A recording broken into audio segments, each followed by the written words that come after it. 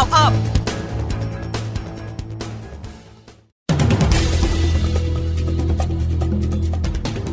17นาฬิกา7นาที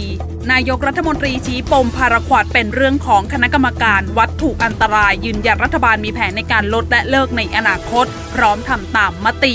17นาฬิกา19 นาที จตุพรห่วงวาทกรรมทางการเมืองทำบรรยากาศเลวร้ายไม่เหมือนจะมีเลือกตั้งวันมีปฏิวัติซ้อน 17นาฬิกา33 นาทีคอสชเข้มดูแลสถานการณ์ช่วง 3 เดือนนี้ให้ดีที่สุดกำชับหน่วยงานติดตามข่าวบิดเบือน พร้อมแจ้งประชาชนตามความจริงเร่งคลี่คลายปัญหาฝุ่นละออง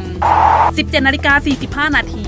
กรมทางหลวงสรุปอุบัติเหตุเดือนมกราคม 62 พบผู้เสียชีวิตลดลง 13%จากปีก่อน สาเหตุขับรถเร็วครองอันดับหนึ่งเป็นสาเหตุหลัก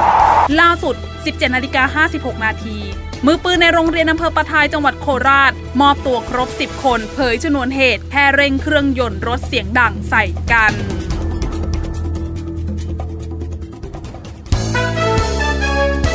INN News